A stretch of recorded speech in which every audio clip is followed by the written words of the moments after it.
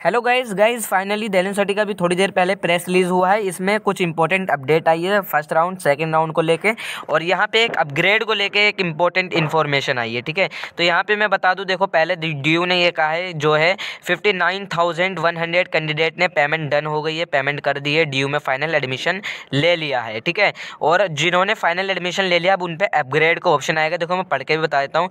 The university will display the vacant seat of C S A S round sec second at ten A M Wednesday यानी कल आपकी round जो vacant seat है, वो कल आ जाएगी सुबह दस बजे मॉर्निंग में, ठीक है? कल ही आएगी। और जो आपका, देखो यहाँ लिखा है the candidate who have secure their admission in round first can opt upgrade ठीक है? आप लोग अपग्रेड करवा सकते हो, जिन्होंने सी एस एस राउंड में एडमिशन ले लिया फ़र्स्ट राउंड में एडमिशन ले लिया। देखो यहाँ सेकंड में अगर अभी आपका नेम ही नहीं आया किसी भी राउंड में तो डोंट वरी आप सेकंड राउंड में एलिजिबल हो। लेकिन जिन्होंने पेमेंट करी है फ़र्स्ट राउंड में, वही अपग्रेड करवा सकते हैं सेकंड राउंड में, ठीक है? ये चीज़ याद रखो। और यहाँ पे लिखा है, देखो अपग्रेड कैन री ऑर्डर देखो, और अपनी प्रीफ्रेंस भी हायर प्रीफ्रेंस को अपनी रीअरेंज कर सकते हैं।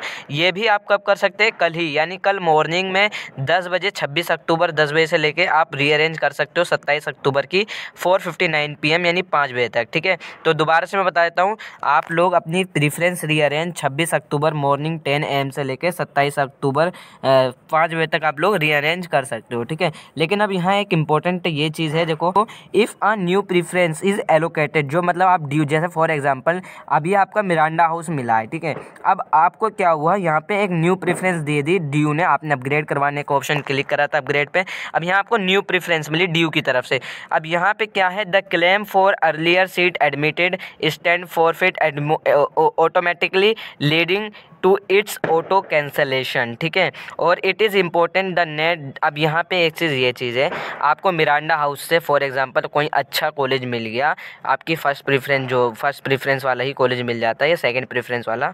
मिरांडा आपकी थर्ड प्रेफरेंस थी। सेकंड प्रेफरेंस आपकी है फॉर एग्जांपल हिंदू कॉलेज अब आपको हिंदू कॉलेज अलॉट हो गया तो मिरांडा में एडमिशन आपका कैंसिल हो जाएगा अलॉट होने के बाद, ठीक है?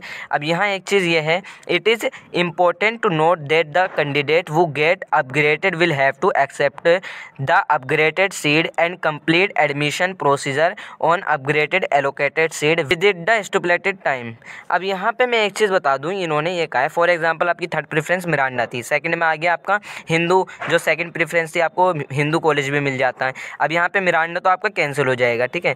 लेकिन अगर आप ये चाहते हो कि मैं मिरांडा में ही रहूँ और DU ने आपको हिंदू कॉलेज की प्रेफरेंस अलॉट कर दी है तो आपको भाई अपना एडमिशन लेना पड़ेगा हिंदू कॉलेज में, ठीक है? आपको वहाँ की सीट एक्सेप्ट करनी पड़ेगी। सीट एक्सेप्ट करने के बाद वहाँ का जो प्रोसीजर है, वो कंप्लीट करना पड़ेगा, ठीक है? तो ये चीज़ें हैं। अब आपको जो भी सेकेंड राउंड में अगर अलॉट होती हैं DU की तरफ़ से सीट तो आपको अपग्रेड करवाना पड़ेगा प्रोसीजर फॉलो करना पड़ेगा सी एस सेकेंड राउंड का। लेकिन अगर DU की तरफ़ से नहीं अलॉट होती है कोई सीट तो डोंट वरी इसमें घबराने की ज़रूरत नहीं है। आपका जो पहले बार जो C S S round first का जो आपको सीट अलॉट हुई है, वही आपका कॉलेज रहेगा, ठीक है?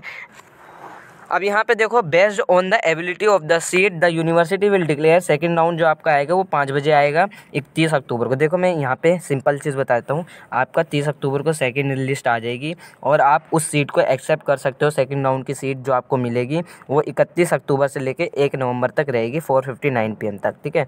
तो यही चीज़ अपडेट थी, यही अपडेट थी, लेकिन इसमें घबराने की ज़रूरत नहीं है।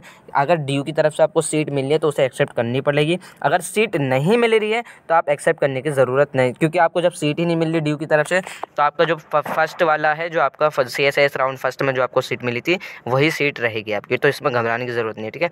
बाकी अगर आपकी कोई फर्दर क्वेरी है तो आप मुझसे इंस्टा पर पूछ सकते हो।